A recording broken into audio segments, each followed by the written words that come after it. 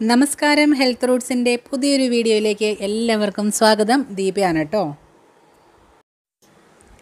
പത്തുമണിച്ചെടികൾ എല്ലാവരുടെയും തന്നെ വീട്ടിലുണ്ടാവും അല്ലേ? പത്തുമണിച്ചെടികൾ ഇല്ലാത്ത വീടുകൾ വളരെ ചുരുക്കമാണ്.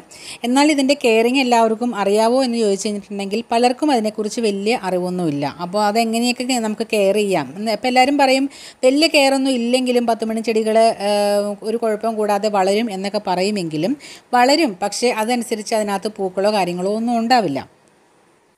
അപ്പോൾ ഇന്നത്തെ വീഡിയോയിൽ ഞാൻ അധികം കാര്യങ്ങളൊന്നുമില്ല. നമ്മുടെ പത്ത് മണി ചെടികൾ ഇത് കേടുകൂടാതെ അടുത്ത വർഷത്തേക്ക് വേണ്ടിയിട്ട് നമുക്ക് എങ്ങനെ അത് കെയർ ചെയ്ത് വെക്കാം എന്നുള്ള കാര്യങ്ങളും ഞാൻ ഏതെല്ലാം രീതിയിലാണ് അത് വെച്ചിരിക്കുന്നതെന്നുള്ളതും അതുപോലെ തന്നെ പിന്നീട് അത് നല്ല രീതിയിൽ പൂക്കൾ ഉണ്ടാവാൻ വേണ്ടിയിട്ട് എന്ത് ചെയ്യണം അതുപോലെ നമ്മൾ പ്രൊപ്പഗേറ്റ് ചെയ്ത് വെക്കുമ്പോൾ ഏത് രീതിയിലുള്ള അതിന്റെ ശിഖരങ്ങളാണ് എടുക്കേണ്ടത് അങ്ങനെയുള്ള കാര്യങ്ങൾ അതിന്റെ വളപ്രയോഗം എന്തെങ്കിലും ആവശ്യമുണ്ടോ? അങ്ങനെയുള്ള കാര്യങ്ങളൊക്കെയാണ് ഇന്നത്തെ വീഡിയോയിൽ ഞാൻ ഉൾക്കൊള്ളിച്ചിരിക്കുന്നത്. അപ്പോൾ വീഡിയോ നിങ്ങൾ സ്കിപ്പ് ചെയ്യാതെ കാണുക. അതുപോലെ തന്നെ നിങ്ങൾ സബ്സ്ക്രൈബ് ചെയ്തിട്ടില്ല എന്നുണ്ടെങ്കിൽ പ്ലീസ് ഒന്ന് സബ്സ്ക്രൈബ് ചെയ്ത് എന്നെ ഒന്ന് സപ്പോർട്ട് ചെയ്യുക. അപ്പോൾ അതുപോലെ തന്നെ കഴിഞ്ഞ ദിവസം ഞാൻ ഇട്ടിരുന്ന വീഡിയോ നമ്മുടെ ജെയ്ഡ് പ്ലാന്റിനെ കുറിച്ചിട്ടായിരുന്നു. അതിനെക്കുറിച്ച് ഇട്ടൊരു വീഡിയോ ഇട്ടത് നിങ്ങളെല്ലാവരും കണ്ട് നല്ല സപ്പോർട്ട് തന്നതിൽ താങ്ക് സോ മച്ച് അപ്പോൾ ഇനിയുള്ള വീഡിയോസിനും നല്ല സപ്പോർട്ട് നിങ്ങൾ തരുമെന്ന് ഞാൻ പ്രതീക്ഷിക്കുന്നു. അപ്പോൾ നമുക്ക് വീഡിയോയിലേക്ക് പോകാം. മിക്കവാറും മഴക്കാലമൊക്കെ കഴിയുമ്പോഴത്തേക്കും നമ്മുടെ വീടുകളിലുള്ള പത്തുമണി ചെടികളുടെ പല കളറുകളും നമുക്ക് നഷ്ടപ്പെട്ടു പോകും. കാരണം മഴ കഴിയുമ്പോഴത്തേക്കും ഇതെല്ലാം ചീഞ്ഞു പോകുന്ന ഒരവസ്ഥയിലാണ് ഉണ്ടാവുക. അപ്പോൾ അതുണ്ടാവാതിരിക്കാൻ വേണ്ടിയിട്ട് ആദ്യമേ തന്നെ നമ്മൾ മഴ തുടങ്ങി ഒരു രണ്ട് മൂന്ന് മഴയൊന്നും കുഴപ്പമൊന്നുമില്ല. അത് കഴിയുമ്പോൾ തന്നെ നമ്മുടെ ചെടികളെല്ലാം തന്നെ ഒരു ഷെയ്ഡിലേക്ക് മാറ്റാനായിട്ട് പ്രത്യേകം ശ്രദ്ധിക്കണം. അപ്പോൾ അത് ഒന്നുകിൽ നമ്മൾ അങ്ങനെ തന്നെ എടുത്ത് മാറ്റി വയ്ക്കുക അതല്ലാന്നുണ്ടെങ്കിൽ അതിനകത്ത് നിന്ന് കുറച്ച് തമ്പ് കമ്പുകളൊക്കെ ഒടിച്ചെടുത്തിട്ട് വേറെ നമ്മൾ പ്രൊപ്പഗേറ്റ് ചെയ്ത് വെക്കുക. ഇത് ഏത് രീതിയിലാണെങ്കിൽ തന്നെയും നമ്മൾ ഷെയ്ഡിലേക്ക് മാറ്റി വയ്ക്കുക മഴവെള്ളം ഡെയിലി വന്ന് വീഴാതിരിക്കത്തക്ക രീതിയിലുള്ള ഏതെങ്കിലും ഒരു ഭാഗത്തേക്ക് നമ്മൾ പത്തുമണി ചെടികൾ മാറ്റി വയ്ക്കുക എന്നുള്ളതാണ് ഇതിന്റെ ഒന്നാമത് ചെയ്തേണ്ട കാര്യം.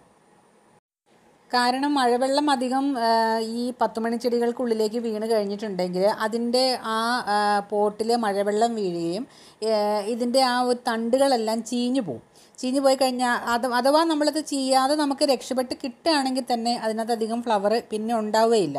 അപ്പോൾ അത്രയും നമുക്ക് നഷ്ടപ്പെട്ടു പോകുന്നതിലും നല്ലത് എങ്ങനെയും നമ്മൾ എവിടെയെങ്കിലും സൂക്ഷിച്ച് വെക്കുക എന്നുള്ളത് തന്നെയാണ്.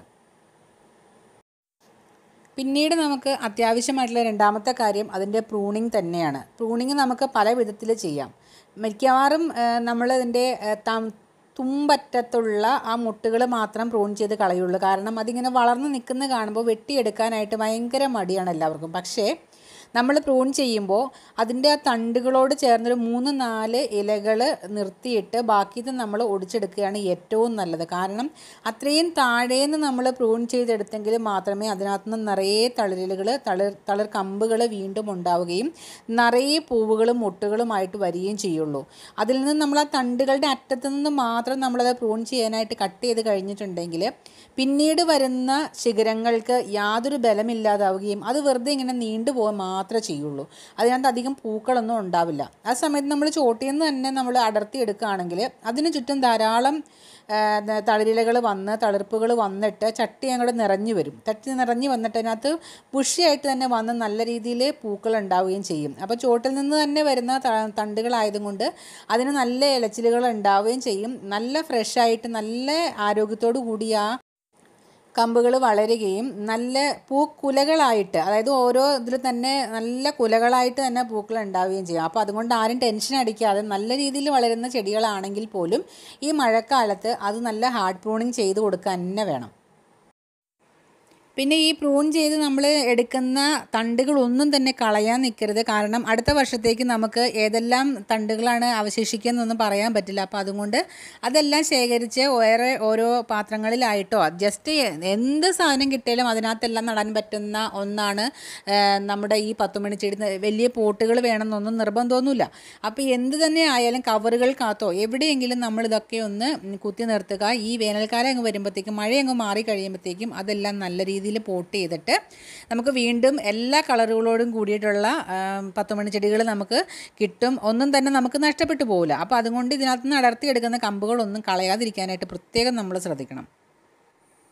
അതുപോലെ നമ്മളിത് പ്രൊപ്പഗേറ്റ് ചെയ്യുമ്പോൾ ശ്രദ്ധിക്കേണ്ട ഒരു കാര്യം എന്താ വെച്ചിട്ടുണ്ടെങ്കിൽ ഇതൊക്കെ ഇതിന്റെ മൂത്ത തണ്ടുകളാണ്. നമുക്ക് കാണുമ്പോൾ അറിയാൻ പറ്റും ഒരു റെഡ് കളർ വന്നിട്ട് നന്നായിട്ട് മൂത്ത തണ്ടുകളാണ്. അങ്ങനെയുള്ള തണ്ടുകൾ നമ്മൾ പ്രൊപ്പഗേറ്റ് ചെയ്യാണ്ടിരിക്കുക. ഇതിന്റെ ഈ ഇതിനകത്ത് നിന്ന് നോക്കിയാൽ നമുക്കറിയാൻ പറ്റും ഒരു തളിർപ്പ് ഒന്ന് രണ്ട് തളിർപ്പ് മാത്രമാണ് ഇതിനകത്ത് നിന്ന് വന്നിരിക്കുന്നത് അതേ സമയത്ത് ഇതൊക്കെ ഞാൻ ഇളം തണ്ടുകൾ കുത്തി കൊടുത്തതാണ്.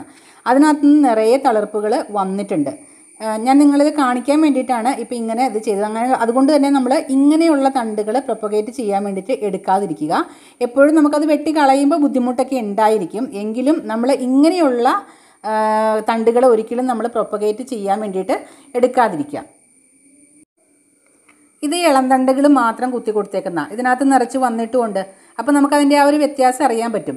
ഇതിനകത്ത് എല്ലാത്തിനകത്തു നിന്നും പല തളർപ്പുകൾ വന്നിട്ടുണ്ട്. ഇതിന്റെ എല്ലാ ഭാഗത്തു നിന്നും തളിർപ്പുകൾ ഓരോ ഇലയുടെ ആ ഒരു ഇലകൾ പോയിട്ടുള്ള ആ ഭാഗത്തു നിന്നെല്ലാം നല്ല തളർപ്പുകൾ വന്നിട്ടുണ്ട്. അതുപോലെ തന്നെ നമ്മൾ തളർപ്പുകൾ വന്നു കഴിയുമ്പോൾ ഇങ്ങനെയുള്ള ഭാഗങ്ങൾ അങ്ങോട്ട് നുള്ളി കൊടുക്കുക.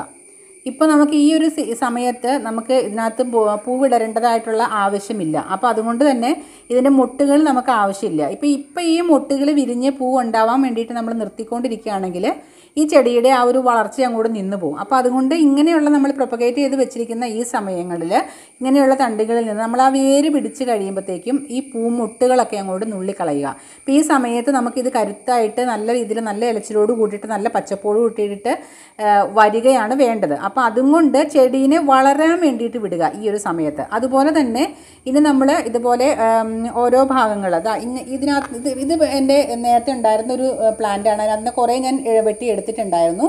ഇപ്പം നമ്മളിതാ ഇങ്ങനെയുള്ള ഭാഗങ്ങൾ ഇതിനകത്തുനിന്ന് ഇവിടെ നിന്ന് നമ്മളിതാ ഇങ്ങനെയുള്ള ഭാഗങ്ങൾ മാത്രം നീളത്തിൽ അധികം നീളമൊന്നും വേണ്ട. ഇങ്ങനെയുള്ളത് മാത്രം കട്ട് ചെയ്തെടുക്കുക. അതിനുശേഷം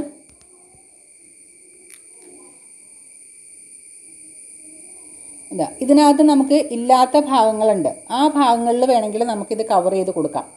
അപ്പോൾ ഈ രീതിയിൽ നമുക്ക് ഈ ഈ ഭാഗങ്ങളിലെല്ലാം കവർ ചെയ്ത് നല്ല രീതിയിൽ നമുക്കിത് പ്രൊപ്പഗേറ്റ് ചെയ്ത് എടുക്കാനായിട്ട് സാധിക്കും. അതുപോലെ തന്നെ ഇത് പ്രൊപ്പഗേറ്റ് നമ്മൾ ചെയ്യുമ്പോൾ ഇതിന്റെ ഈ ഒരു നമ്മളൊരു പോട്ട് എടുക്കുകയാണെങ്കിൽ അതിന്റെ ഒരു മുക്കാൽ ഭാഗത്തോളം സാധാരണ നമ്മൾ മണ്ണെടുക്കാറുണ്ട്. പക്ഷെ നമ്മൾ ഈ പത്ത് മണിച്ചെടികൾ എടുക്കുമ്പോൾ കുറച്ചും കൂടെ താഴെയായിട്ട് ഇതിന്റെ പോട്ടിംഗ് മിക്സ് ഇടാനായിട്ട് പ്രത്യേകം ശ്രദ്ധിക്കുക. കാരണം ഇതിന് തളിർപ്പ് വന്ന് കുറച്ചൊന്ന് പൊങ്ങിയതിന് ശേഷമാണ് ഇതിനകത്ത് പൂക്കൾ ഉണ്ടാവുന്നത്. അപ്പോൾ ഈ പൂക്കൾ ഉണ്ടാകുമ്പോൾ ഈ ഒരു ഭാഗം നിറയെ നല്ല കവർ ചെയ്ത് നിൽക്കാൻ വേണ്ടിയിട്ട് എപ്പോഴും നമ്മൾ പത്ത് മണിച്ചെടിക്ക് പോട്ട് ഫില്ല് ചെയ്യാൻ നേരത്ത് നമുക്കൊരു ഒരു പകുതി മാത്രം നമ്മൾ മിക്സ് നിറച്ചാൽ മതിയാവും.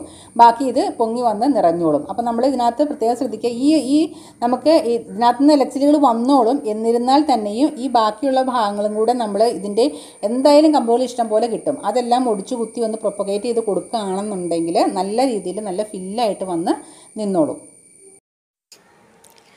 ഇത് കണ്ടോ? ഇത് ഞാൻ നമ്മുടെ മഴക്കാല സംരക്ഷണത്തിന് വേണ്ടിയിട്ട് അതായത് നമ്മൾ വേനൽക്കാലത്ത് നടാം എന്ന് വിചാരിച്ചുകൊണ്ട് അതിനകത്ത് നിന്ന് കുറച്ചൊക്കെ ഒടിച്ചെടുത്ത് നട്ട് വെച്ചിരിക്കുന്നതാണ്.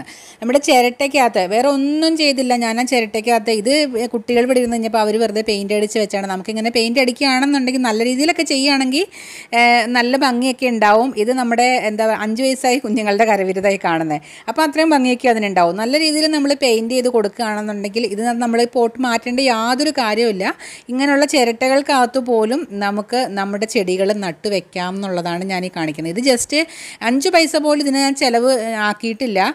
കാരണം ഇത് നമ്മുടെ സാധാരണ ചിരട്ടയാണ് കണ്ണൻ ചിരട്ട എടുക്കുക.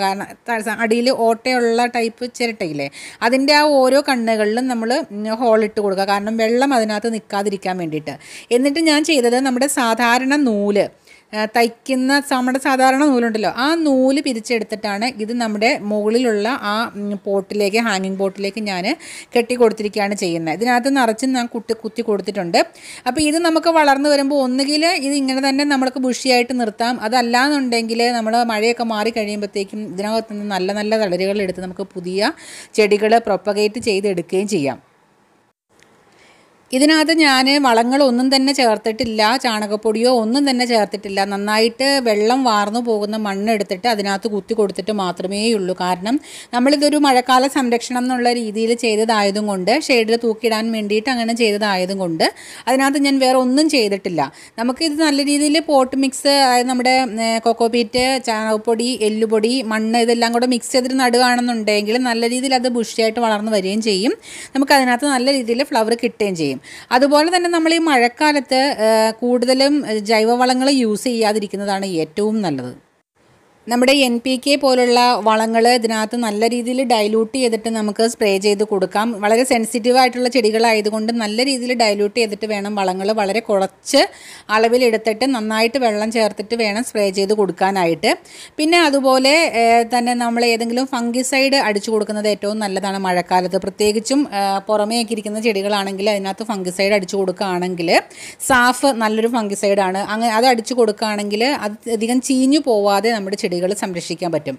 പിന്നെ നമുക്കിത് വാങ്ങിക്കാനായിട്ട് ഇപ്പോൾ ഈ ലോക്ക്ഡൗണും കാര്യങ്ങളൊക്കെ ആയതുകൊണ്ട് പറ്റുന്നില്ല എന്നുണ്ടെങ്കിൽ നമ്മുടെ വീട്ടിൽ തന്നെയുള്ള സിനമൺ കറുവാപ്പട്ടയുടെ തണ്ട് അത് തൊലി അത് പൊടിച്ചെടുത്തിട്ട് അത് തൂവി കൊടുത്താലും മതിയാവും. ഇങ്ങനെ എന്തെങ്കിലും ചെയ്യുകയാണെന്നുണ്ടെങ്കിൽ ഒരു കാരണവശാലും നമ്മുടെ പത്തുമണി ചെടികൾ നഷ്ടപ്പെടാതെ നമുക്ക് ഈ വേനൽക്കാലത്തേക്ക് സൂക്ഷിച്ചു വെക്കാനായിട്ട് സാധിക്കും. അപ്പോൾ ഇത്രയൊക്കെ ചെയ്താൽ തന്നെ പത്തുമണി ചെടികളെ നമുക്ക് സംരക്ഷിക്കാൻ പറ്റും. അപ്പോൾ ഇതാണ് ഇന്നത്തെ വീഡിയോ. ഇത്രയൊക്കെയാണ് ഞാൻ ഉൾക്കൊള്ളിച്ചിരിക്കുന്നത്. അപ്പോൾ നിങ്ങൾക്ക് എന്റെ വീഡിയോ ഇഷ്ടപ്പെട്ടാൽ ഒന്ന് ലൈക്ക് ചെയ്യുക മറ്റുള്ളവർക്ക് ഷെയർ ചെയ്ത് കൊടുക്കാൻ മറന്നു പോവാതിരിക്കുക.